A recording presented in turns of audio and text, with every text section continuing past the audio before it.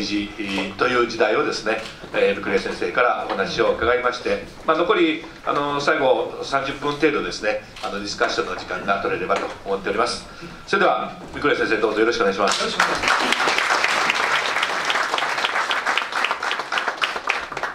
え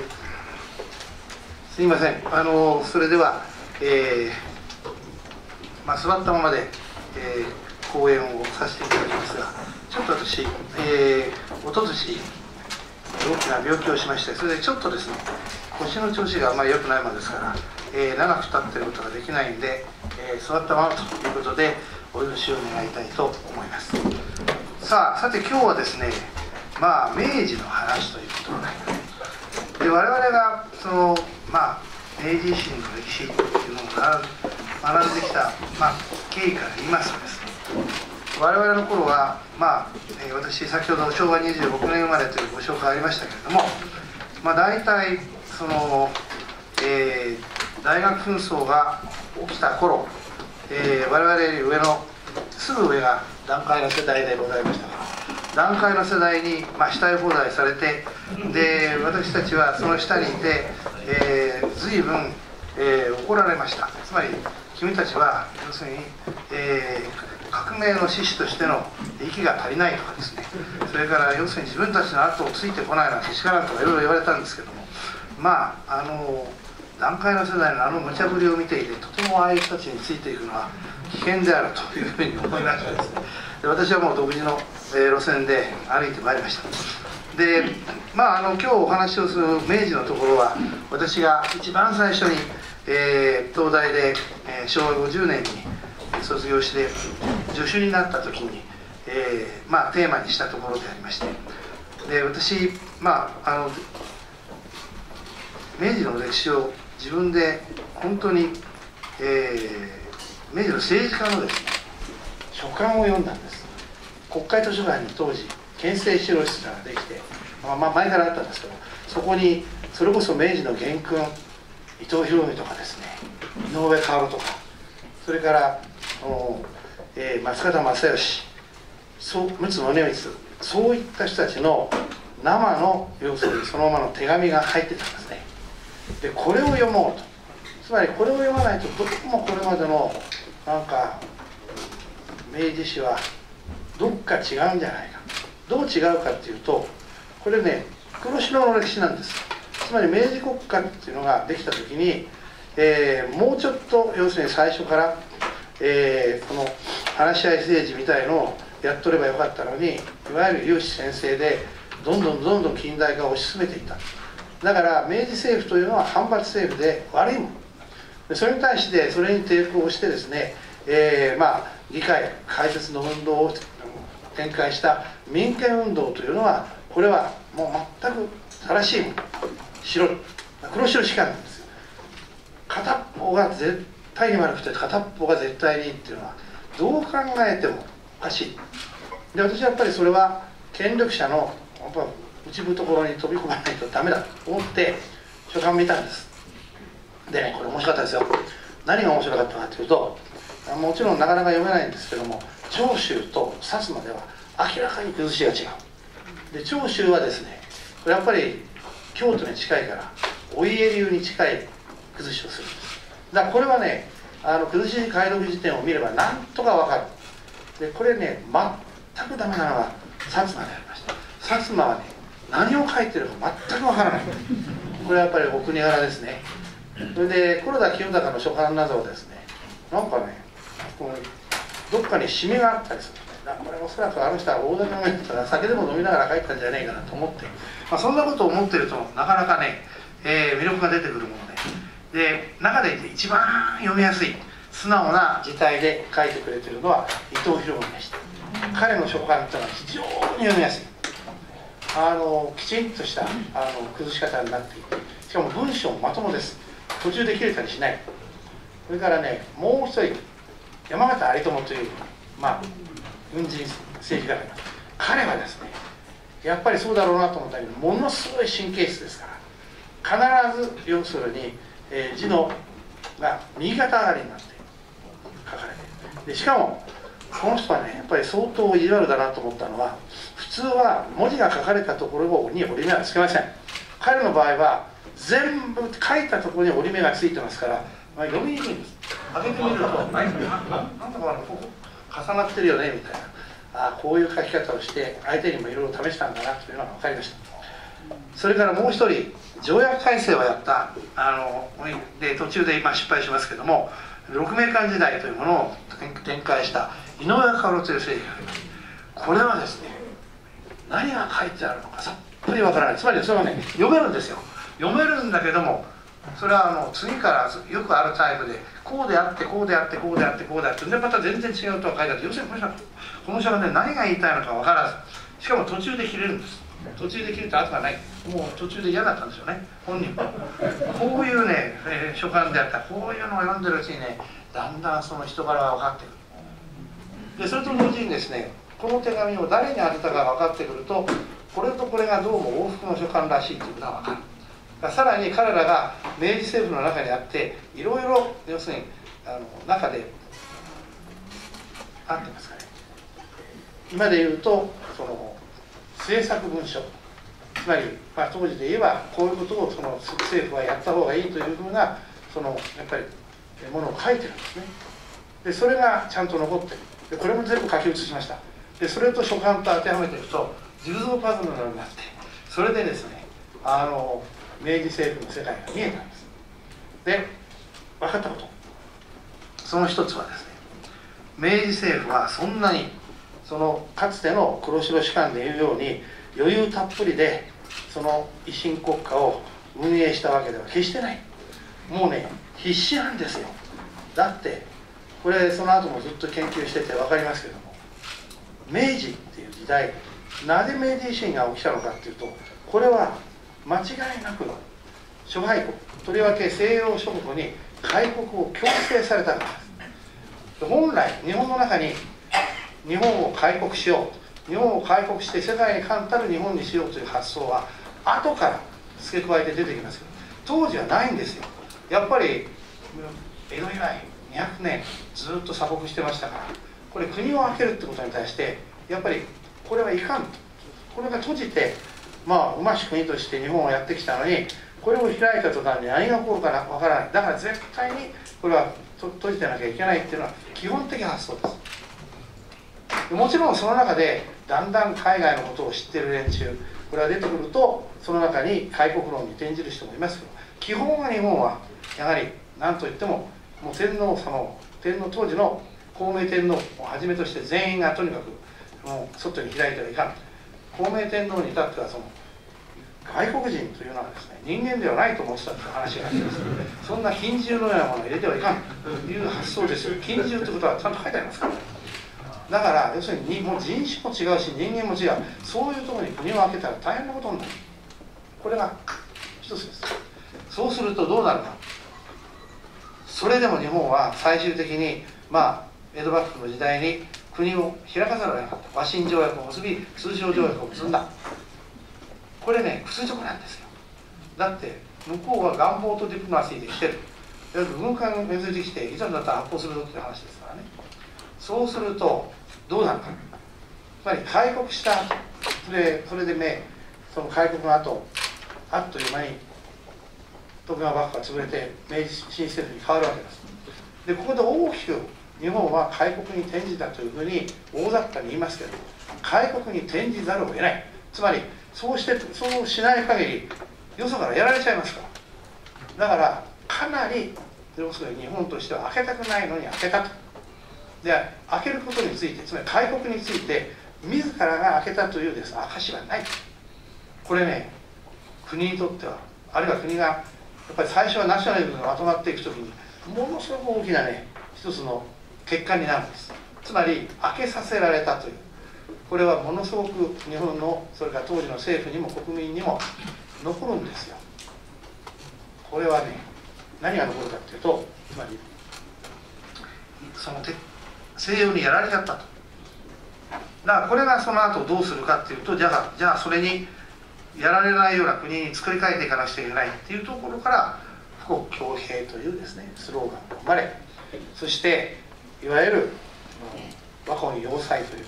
魂は変えないぞと。だけどやっぱり悔しいけどやっぱり近代化しない限りこれこの国やっていけないからね。という話になる。だから我々がその習った時のように当然のように陰順不足な徳川幕府が倒れて紳士の気象に富んだ要するに近代国家明治政府ができましたっていう話では全くない。同じです。どっちも倒れた方もどっちも悔しい。そういう思いを持ちながらこの明治政府というのに協力をしていくことになる。ですからできてすぐの明治0年代ですけど明治0年代の明治政府なんてのは本当に力ないんですよ。今はみんなあの国家っていうと今の昭昭和そして平成の国家あるいは令和の国家を思い浮かべますからものすごく複雑な組織があってでその、えー、そこで、えー、支配がされてるというふうに思うでしょうけども全然と思ったない。そもそも太政官政府と言われたんですが太政官政府というのは今でいうとその国務大臣が支配している、まあ、閣議と言った方がいいでしょうね。閣議でものを決定するところとそれからその下の各省今はその各省とその大臣たちが完全にもう全然分裂してるなんてことないですけどもあの当時はそれぞれの専門の要するに省の大臣当時は、えー、省庁と言いましたけども省の省庁たちとその下のいわゆるまあ今日流に言うと官僚が支配する部分完全に割れてましたからね。で本人も何々大臣という気はあまりない。だから他のことにもどんどんあのいろんなことを言ったりして個人的な力でそれ持っちゃう。で嫌になったら勝手にやめちゃう。ということですからあの政府が政府として成立してない。そういう状況なんです。よだから簡単になんかこの政府倒そうと思ったら倒せる。という感じのところは実はある。でようやくですねとにかくなんだかんだ言ってもその太政官政府というのを作った時に一番大事なのは何か明治国家は軍隊を持ってないわけです。だって当時あった軍隊って全部各要するに藩の要するに、えー、元にあった要するにまあお侍さんたちですからね。そうするとこれがね一挙に何か悪さをしようとしたら簡単に明治政府は倒れる。だ最後はだから審判はとにかくまず集めてということでその長州やそれからその鹿児島の薩摩の部隊をとにかく東京に集結する。でこれを明治国家の軍隊にするというとこから始まってやがて徴兵戦に行くわけですよね。だから最初はだけどそのこと言われても言われた方はピンとこないわけです。東京の中で出てこさせられてそれでお前は明治政府の軍隊だって言われたら何それっていうのもんですよ。紙幣なら分かるわ西郷さんについてく軍隊って言われたらみんなはいと思うわけですよ。だからそうじゃなくて国の軍隊って分からないだから廃藩置県をやってなんとか要するに国は全体はその中央政府が統率するよということにするんですけれどもそこで現実にじゃあ明治政府の人間として意識をし明治政府の人間として自らの力を伸ばしていった。この第1号が実は大久保利通なんです。で大久保利通はあの有名な、えー、その西郷さんと、まあ、対立をしてまあ、えー、まあ、朝鮮に軍隊を派遣するかどうかというあの問題で2人は決裂をして西郷さんはリアしますよね。で大久保は残るわけです。で残ってそこからあと散々悪口を書かれます。警察を作った。内務省を作った。国民を監視した。人権運動を弾圧した。でもねそれはそういうふうに見てはいけないのであって大久保は必死の思いで西郷さんのを追放した後の政府で俺は今日から東京に住むと言い始めたつまり鹿児島の権力とは自分は切ると。で東京の権力を確立しない限り明治政府は動かない。だから何と言われようと俺はここで初めて。だからある意味でね僕は時々言うんですけども明治政府の第1号の要するにそういう意識を持って明治政府にもう本当に中で仕事を始めたのは本当に大久保が最初です。やがてさみんな分かってくるんですそうだここに権力格を作んなきゃダメだよね。だから明治5年、うん、あの例の政官論の後にすぐ内務省を作ったりそれからその、えー、警視庁をですね、えー、大きくしたりやっぱりその大久保は自らの権力を大きくするためにやったと言いますけどそれをやらない限り治安は収まらない。なぜ警視庁っていうのはあんなに早くできた江戸のやっぱり治安を収めない限り近代派なんてとてもやれませんから。だから大久保がやっぱりそれと一緒にやったのはあとは殖産工業ですよね。やっぱり日本で殖産工業やらない限りダメだというのでそういう政策をどんどん打っていく。そして有志先生と言われちゃう。でただそこで話をくるっと展開するわけですけどもおやおやと皆さん思われるかもしれない。確か明治政府っていうのは五箇条のご正門っていうのによってできたんだよね。であの要するに五箇条のご正門の中に要するにその公論っていうのが出てきて要するにその公論を立てて政治をやっていくというのがこの、えー、大事なのであって。でしかもそれは、えーまあ、いろんな研究が示してますけどももう戦中八策の中で、えー、ですね言われていたことであったりあるいは解明派のいろいろなその当時の学者たちが言ってることも全部ですね会議を開けと言ってるわけです。そこで合意を取れと。でこれは維新の精神につながるわけですね。でしかももっとこれを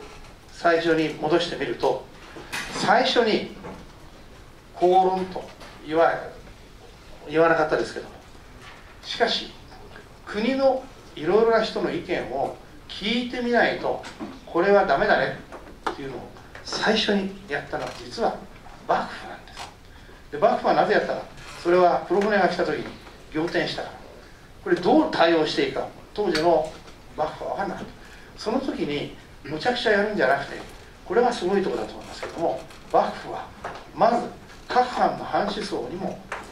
要するにどうしたらいいですかっていうのをとにかく今回だけは聞いてみよう。国の危機ですから。で聞くんですよ。それからそれは国の偉い藩だけじゃなくていろいろ文字の分かる連中には全部いろんなことをとにかく意見言ってみなさいと。まあそこで言論が回路してですね一挙にそれまではまあ全くも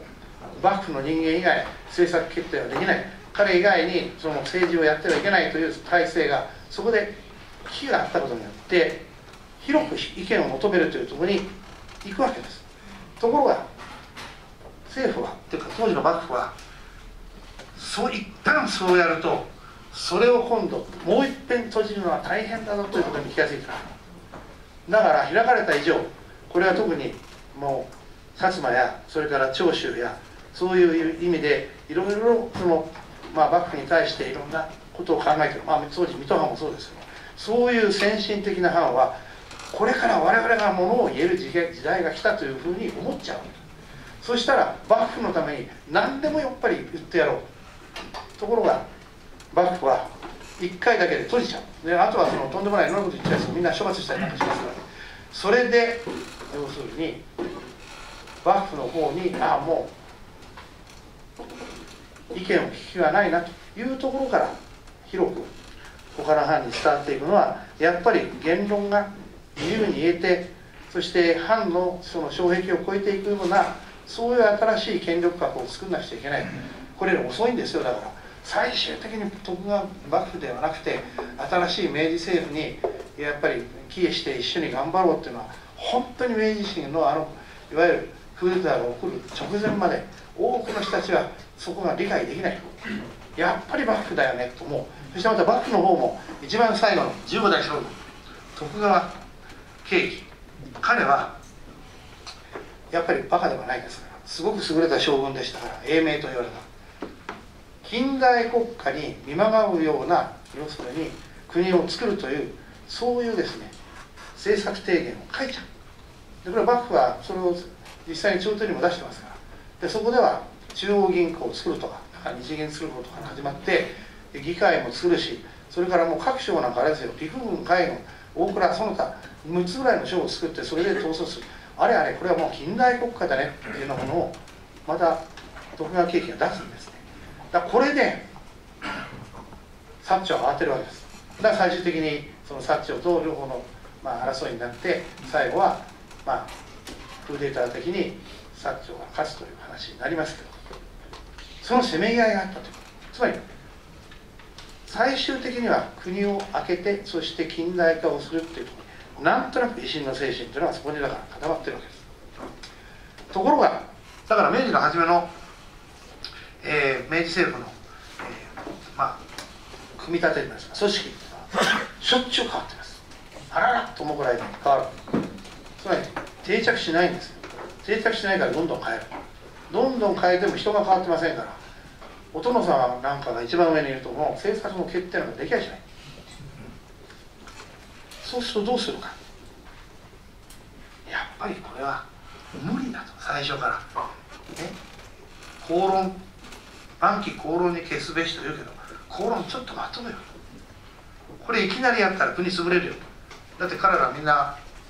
強迫神経症的に国潰れると思ってますからね。いざだったら。そうするとそこで大事なのは今言ったようにとりあえずのこの手段と目的をしばし取り替えよう。こうなる。わけですで大久保利通がはっきり言ってますけれども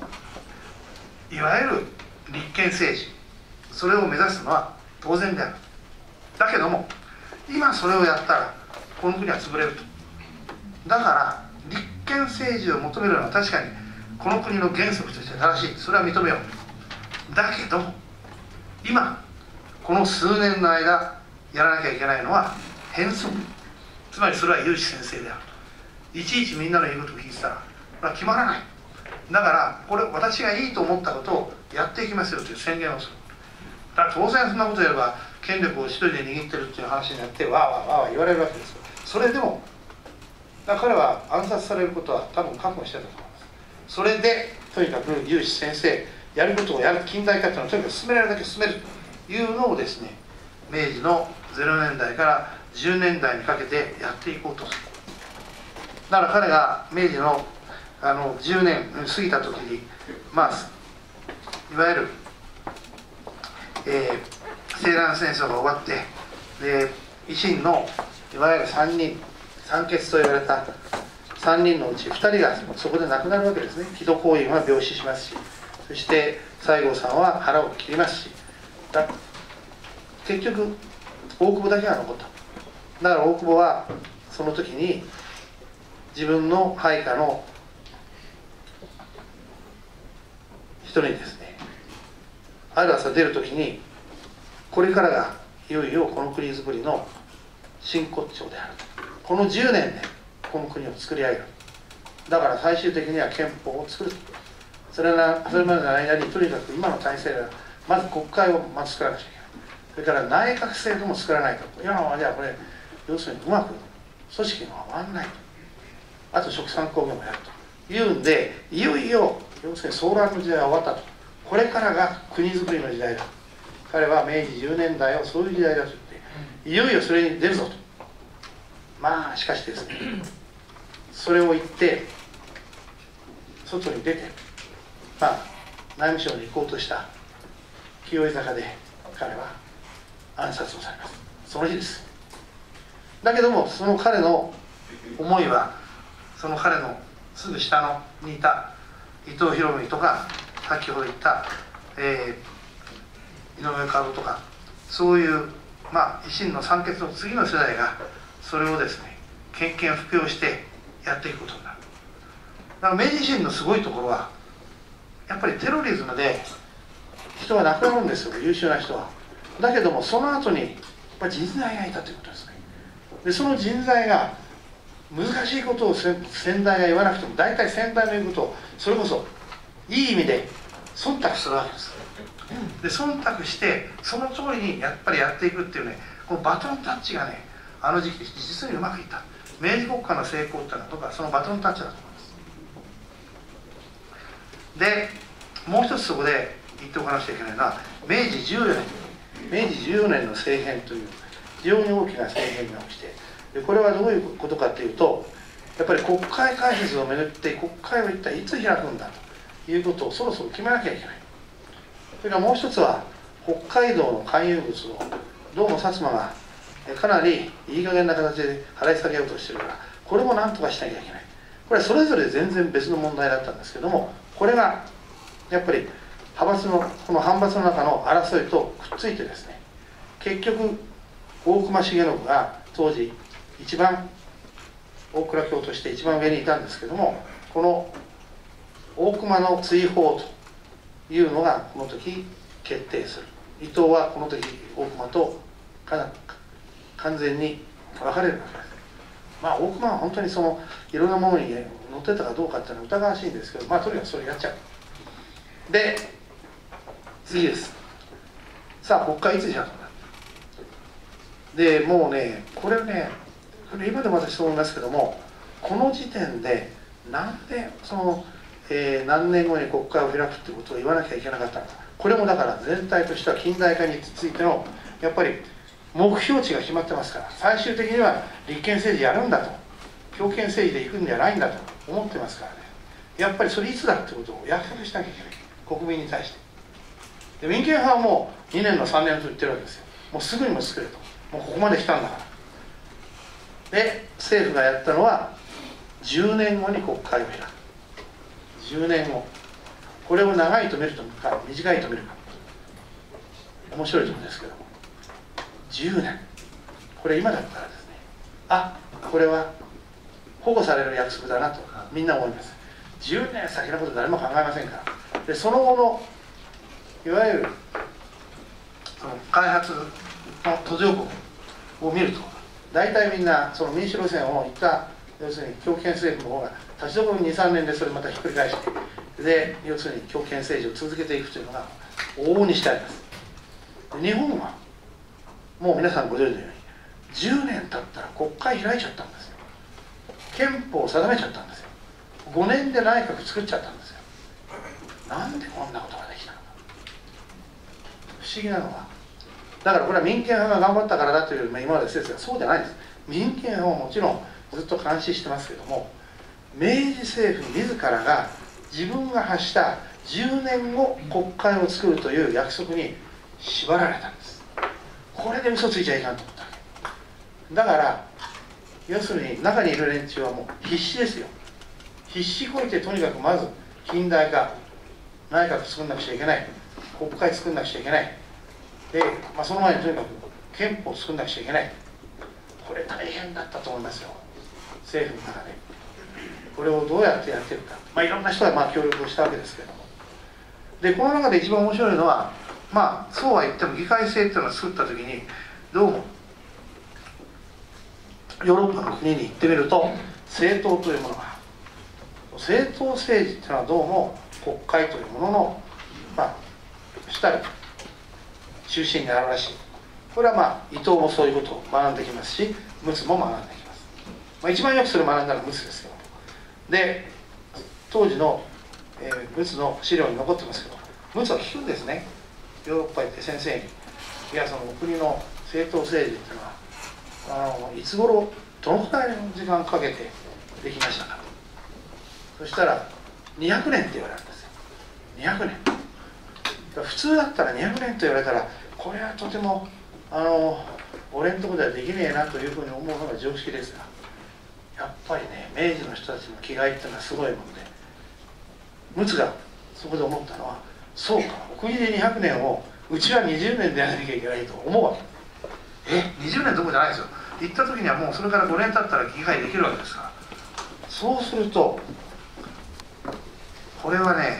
やっぱりみんな驚く。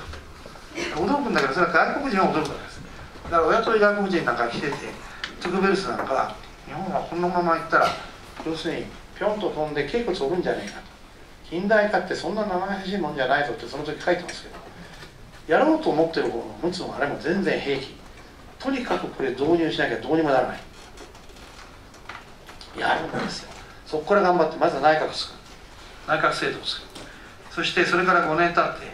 えー、憲法を作ってそして議会を開くと。開いちゃうわけですから。これすごい。なんでできたのか。やっぱり被害としか言いようがないですね。でみんながやっぱりその方向を向いてたから。でそれは民権派ももちろん開いてほしいわけですから。当然そうなるさあそこで問題はもう一つ出る。じゃあこうやってできた明治国家よくみんなが揶揄する薩長藩閥。薩長の人間が全部支配をして。で要するにそれ以外の人間は政策決定のあらゆるところから要するに排除されていた。これ嘘です。調べました。そんなにねその人はたくさんいません。だからどうなったかというとこれ皆さんもご承知だと思いますが行政権それからいわゆる軍事権ここはいくらなんでも薩長ができます。だから海軍は、えー、薩摩だし陸軍は、えー、要するに、えー、長州ということになるしそれ以外の官僚制ももちろん今言ったところが特に長州を中心とするところが大きな力を占めることになる。しかしじゃあ裁判官はどうよ？司法官。司法官は完全に旧幕幕臣とかそれから昔の要するに戸様の藩であったところとかそういうところの優秀な人間が全部入れられます。つまりそこに薩長行かなかった。行かなかった分はもう足りない分全部要するにそういうところから賄っていく。で貴族院はさすがに国会の中でも枢密院とか貴族院は、まあ、薩長を中心に抑えますから 一番僕らが見ててえっと思うのはどうして衆議院を抑えなかったのか。衆議院を普通なら この最初に作った政府が議会をやると言って制限選挙ではあってもその選挙やるわけですよ。そしたら普通政党を作るでしょ。で政府党を作って圧勝してそれであとは好き放題やるというふうに見るのが普通なのにこれがですね政府の中見ても政府党を作らなきゃいかんという話がないわけではない。特に陸奥部明治さんかは政府党を作らなかったらこれ絶対やられますよと随分警告する。それでも薩長の動きが鈍い。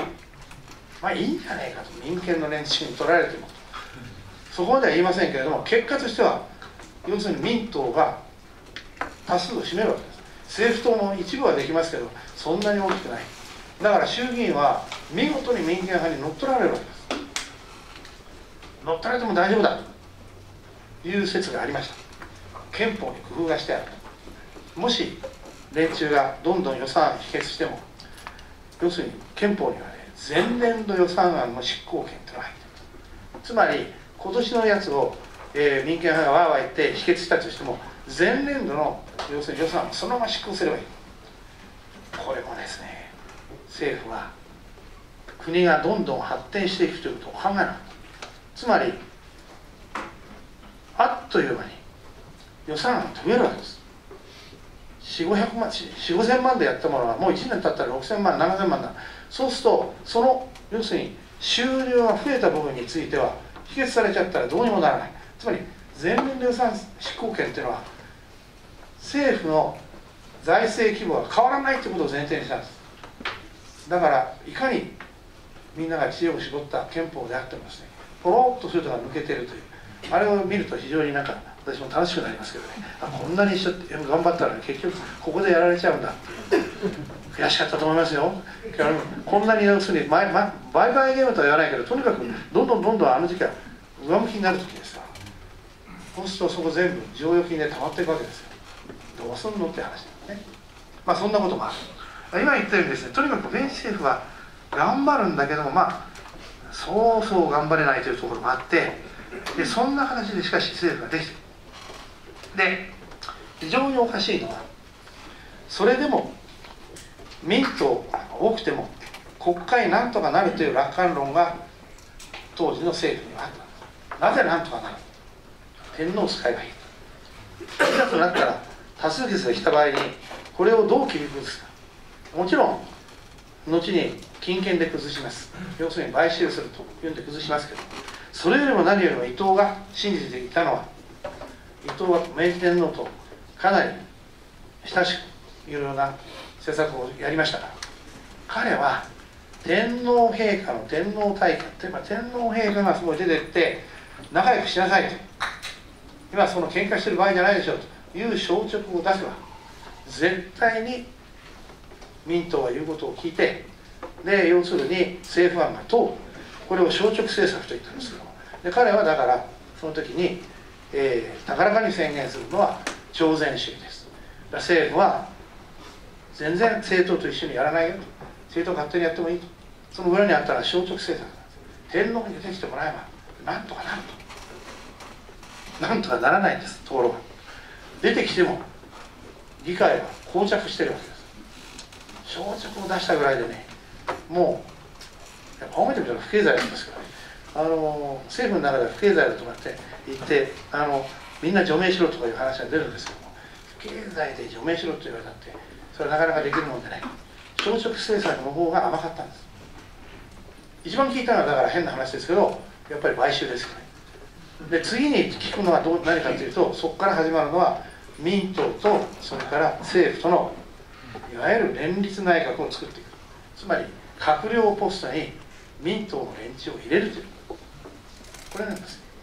でだんだんだんだんそういう妥協ができていく。だから明治20年代ってその妥協の歴史です。でその妥協の歴史の中で今私は小食政策ってうまくいかなかったよねって言いましたけどもじゃあ明治憲法体制にあって一番明治憲法を守るために活躍したのは誰か他ならない。明治天皇なんです。でなぜか内閣制度ができている明治18年以来ずっと内閣の在り方それから内閣で誰が任命されてどうなってるこれを全部内側から見てるのは実は明治天皇しかいないんです。だって内閣変わっちゃうわけですから。総理大臣変われば次の内閣がどうなってるかっていうのはなかなか見えない。それは薩長の人たちが変わるにしてもそうなんですそうするとそれを全部見てるのはね。これ伊藤なんです。明治天皇妃という優れた明治天皇についての、いわゆる、えー、伝記があります。これはあの、えー、国で作った伝記ですけどもいろんな資料を使ってるから相当よくできてる。で僕らが最初に研究者になった頃は明治天皇記というのはあれはその御用学者たちが作ったものだから読んではならない。引用してはならないと言われてましたけどんなひどいものかなと思って読んでみるとこれがですね実に一話二項録で面白い本なんです。で読んでみると明治天皇大活躍なんですよ。でとにかく政府が同士がもう喧嘩して薩長が合わないっていう時は天皇は双方を呼んで妥協しなさいっていうわけです。ここで内閣崩れたらあんた困るでしょ。次のこの法律とこの法律通すことになってるの困るでしょ。だからで何ヶ月経ったらもう一遍事情を出してそれでやめなさい。そういう指示が出してますからね。でこれはだからある意味で言うと越権行為なんですけどもしかしこういうことをやらないと明治の宮廷の裏にはやっぱり立憲政治を快く思ってない勢力ってまだいますか？らと彼らはうまくいかないっていうために明治天皇のところに行ってだから西洋のことなんか真似するからダメなんですよ。これ帝国憲法体制やめましょう。元に戻しましょう。その時に出てますけども明治天皇は神帝から起こるわけです。お前たち何考えてんだと。二十数年かかって我々が作ろうとしたのはこの憲法体制であってこれを守るために自分が一生懸命やってるのにこれを停止しようなんていうのはとんでもない話だと言って当時の、えー、自たちは時効とかそういう人たちは叱られるわけです。これ面白いですよね。だって明治憲法体制ってのは天皇の権限を本当は縛ってるわけですなければ自分で自由にできたはずなんで縛っててその縛ってることが分かりながらなかなかその明治の元君たちがうまく政治ができないその10年代20年代は出張ってやれることをやる。決して彼もね得意不得意があったみたいで一番彼があの自由に操ったのはね松方正義です。伊藤とかねやっぱりあの山形が多少煙たくてそうそうは言わないんですが松方に対してはもう好き放題。いろいろ言ってあれと娘とかこれと娘とかいろんなことを言ってで大体お前はその財政のことしか分からないんだからね自分の言うことよく聞けとかいろんな散々言ってこんなん言われたら普通はもう腹でも切るかなと思いますけど松方はそこは鈍いもんですからはあとか言ってやるわけです。でまあ今お話したようにそういうその何て言うんだかな国をねやっぱりこう盛り立てていくためのやっぱり、えー、問題点っていうのをよく心得ていたなというふうに私は思います。でさあそうするともう一つそこで、えー、言っておかなくちゃいけないのはですねその脱脱入王ということをさっきもこれから言わなくちゃいけないんですけども日本の要するに最終的な目標っていうのは脱は入王つまり強制された外国から、えー、要するにグローバルスタンダードを取り入れてそして要するにアジアのやっぱり、えー、いつまでもヨーロッパの属国でいなくてヨーロッパと並ぶ国になるというのが一つの彼明治国家の目標だったわけですね。でそれが達成されるのがまあ今日はそこは詳しくは言いませんけれどもいわゆる条約改正とそれから日本が初めて参加する帝国主義戦争である日清戦争。条約改正の成功と日清戦争の成功。これがですね日本の脱は入王ということでこれは、えー、その明治20年代に現実に成功するわけです。で面白い本だと思いますけれどもあの常にさっき言いました日本は強迫神経症である。だから外からどう見られてるかっていうのはあの時代からやっぱり気になる。で面白いことに第1回目の総選挙。これはね日本は優秀だったんです。全くと言っていいほど選挙違反をしなかった。なぜしなかったか。それは前海外の目があるから。これでもし選挙干渉なんかやってで選挙がうまくいかなかったら立ちどころに西洋人に書かれるだろう。あやっぱり日本に議会制の導入は無理だと。結局選挙だってこんなに汚れた選挙やるんじゃねえかと言われちゃう。またそういうふうに当時外のメディアが入ってきて見てるわけです。日本人の偉いとかそれから頑張ろうっつって結局1回目は犯さなかった。ただまあ気が緩みますから2回目からさすがに海外がも来ないんで第2回目の時にものすごい買収選挙をやるんですけどね。これが日本人らしいと。あもういいや。わってやっちゃう。まあこれがありました。それからもう一つ日清戦争について一つ言っておくとこれも要するに海外が見てる。つまり日本が本当にきちんと戦争というものを遂行する能力があるかどうか。ひどい話ですよ。そんな見められてるんですから。でこれはねどうしたか。だから今でも残ってますけど。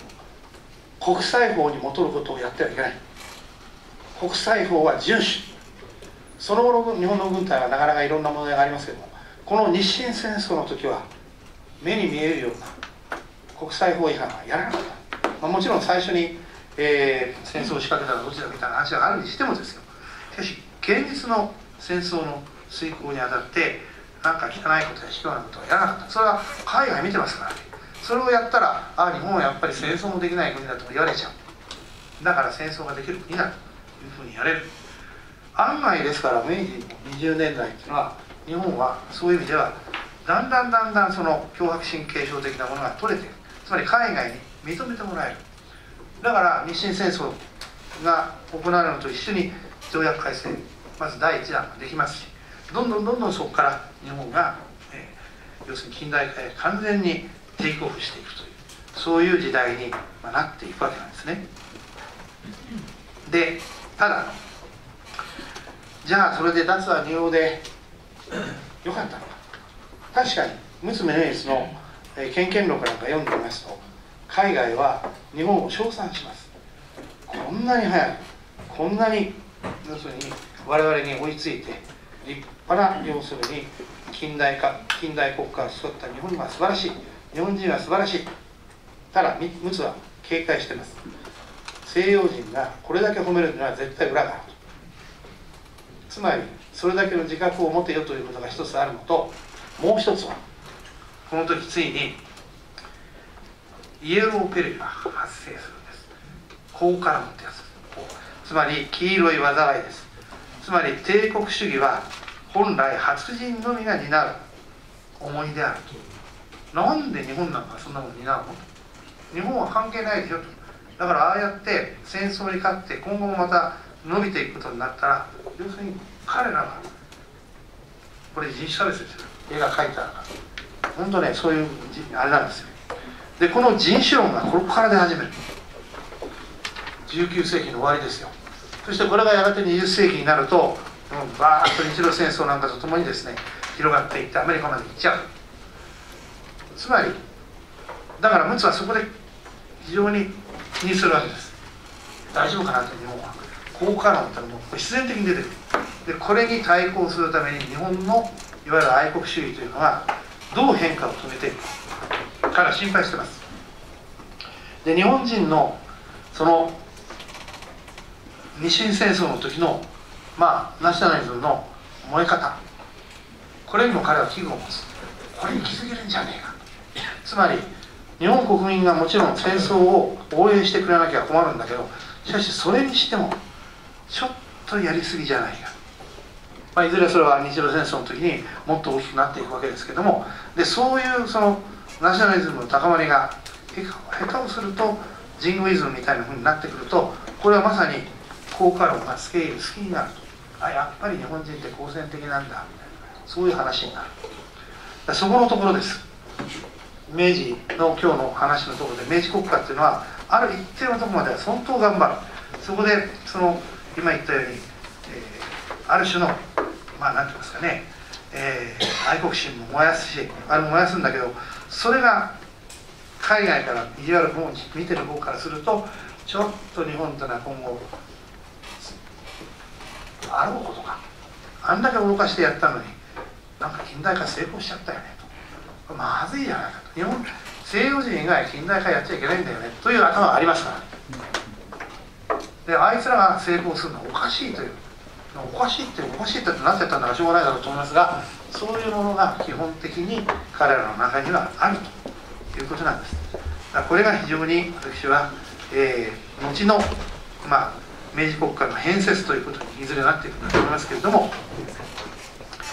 重要な問題になっていくと思います。さあそしてここで最後にですね今日のお話の最後に一つ申し上げておきたいのは明治時代というのはもう一つ文明開化の時代になります。でこう日本人の暮らしっていうのを考えてみるとですねこれ結構、重要なものが実は明治時代に、え、国民の中に入ってまいります。何か？日記です。日記。このね日記っていうのは別にあの江戸時代からまあいろいろ大福帳みたいなのをつけてた人はまあいないわけじゃないんですけどもこの日記をつける。日記をつけるっていうのはですね要するに明治の人たちに時間感覚っていうのを植え付けていく。何もだって見本ないわけですから。で一番最初に明治の人たちが思うのはまず学校に子供を取られる。小学校に子供を取られる。これみんなねびっくりするわけです。寺子屋だったらそんなことない。小学校っていうのは朝から昼まで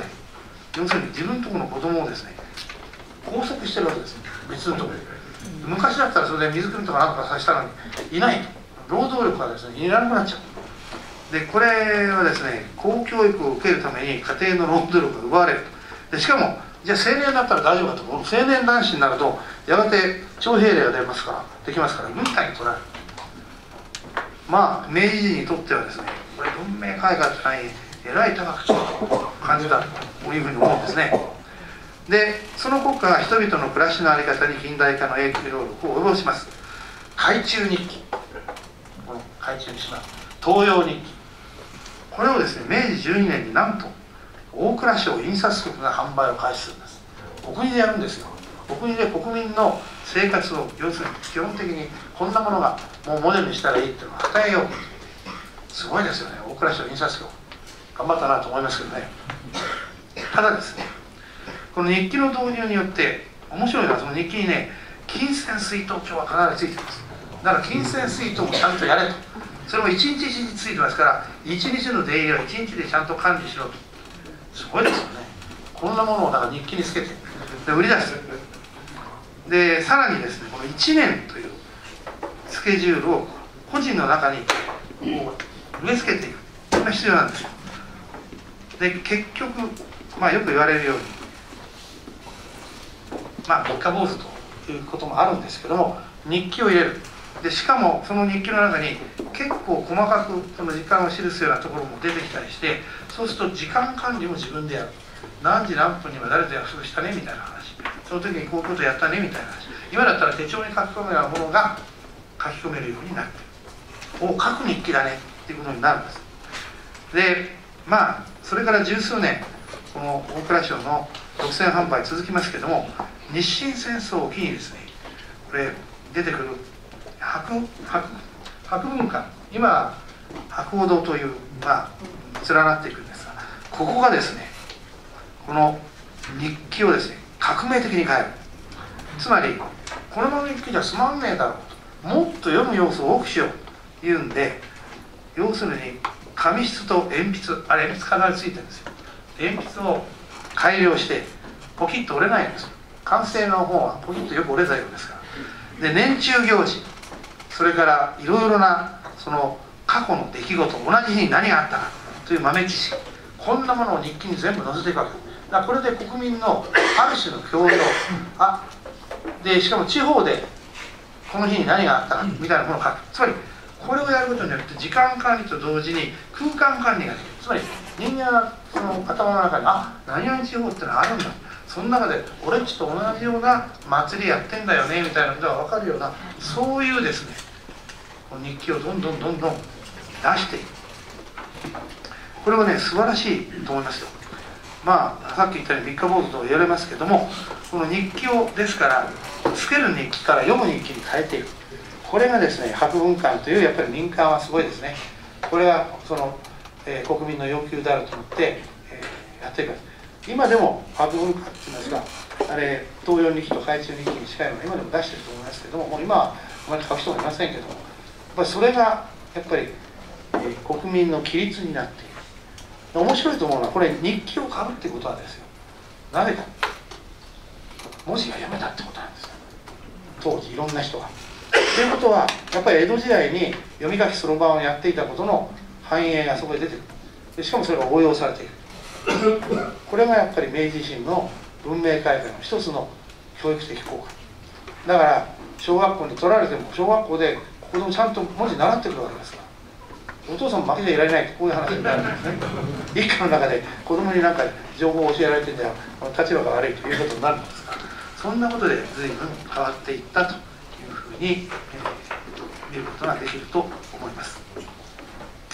以上明治国家について、まあ、今日はそのクロノリカルにお話をするよりは問題性というものを捉えながら全体として明治国家のあいろいろな歩みについて、えー、簡単に、え、ご紹介をいたしました、えー、これで私の講義を終わることにいたします。はい、はい、どうもありがとうございます